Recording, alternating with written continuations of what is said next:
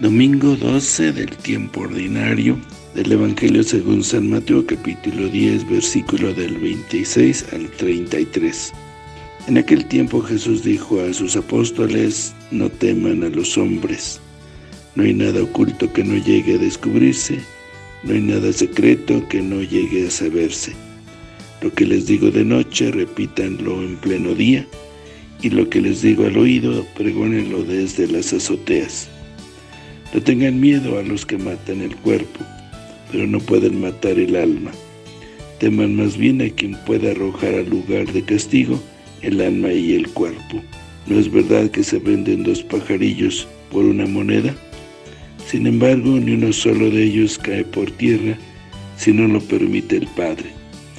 En cuanto a ustedes, hasta los cabellos de su cabeza están contados. Por lo tanto, no tengan miedo porque ustedes valen mucho más que todos los pájaros del mundo. A quien me reconozca delante de los hombres, yo también lo reconoceré ante mi Padre que está en los cielos.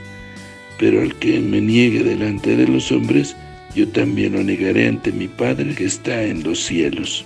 Palabra del Señor. Gloria a ti, Señor Jesús. Mateo por boca de Jesús alude a los sufrimientos y las contradicciones por las que están pasando sus comunidades, signo de lo que ocurrirá a todo cristiano comprometido con el Evangelio. La comparecencia ante tribunales, los azotes, los desgarros familiares después de la expulsión de la comunidad cristiana de la sociedad judía en el año 70, todo esto fue algo común en aquellos tiempos fundacionales de la Iglesia. Lo podemos ver también en los Hechos de los Apóstoles. Y lo seguirán siendo ahí donde la buena noticia de Jesús se anuncia con valentía y sin otra alianza ni compromiso por la causa de los pobres.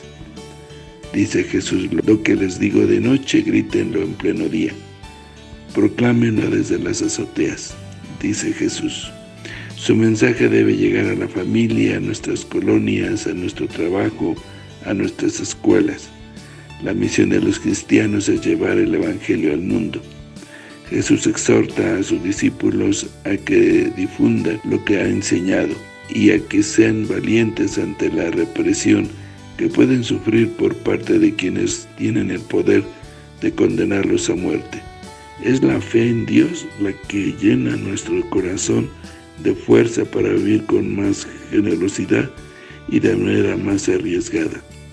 Es la confianza viva en el Padre la que le ayuda a superar cobardías y miedos para defender con más audacia y libertad a los que son injustamente maltratados en esta sociedad. La fe no crea hombres cobardes, sino personas más seguras y valientes. No encierra a los creyentes en sí mismos, sino que los abre más a la vida problemática y conflictiva de cada día. No los envuelve en la pereza y la comodidad, sino que los anima para el compromiso. Cuando un creyente escucha de verdad en su corazón las palabras de Jesús, no tengan miedo, no se siente invitado a eludir sus compromisos, sino penetrado por la fuerza de Dios para enfrentarse a ellos. Que el Señor los bendiga.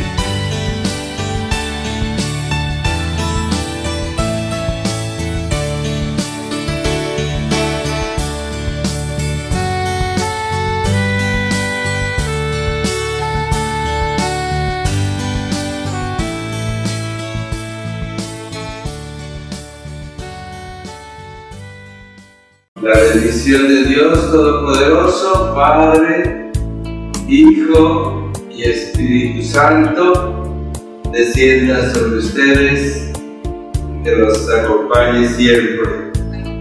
Que el Señor los bendiga.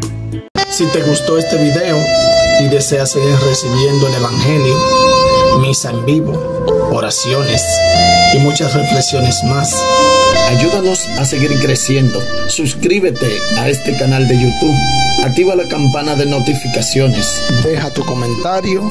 Dale me gusta. Y compártelo con todos tus seres queridos. Que el Señor te bendiga a ti y a toda tu familia. Bendiciones.